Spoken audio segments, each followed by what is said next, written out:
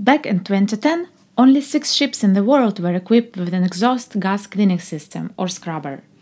Scrubbers discharge contaminated acidic wash water into the ocean, but with only a handful of ships using one, there wasn't cause for much concern.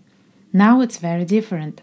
By the end of 2020, more than 4,000 ships had scrubbers. We analyzed how much wash water we could expect ships to emit and where. Our global report is published with this interactive map. We used 2019 ship traffic data as a pre pandemic baseline and modeled discharges from about 3,600 ships with scrubbers. The map shows estimated discharges in ports, territorial seas, internal waters, exclusive economic zones, and IMO designated particularly sensitive sea areas or PSSAs. To learn more about Europe's Baltic Sea PSSA, for example, click on it.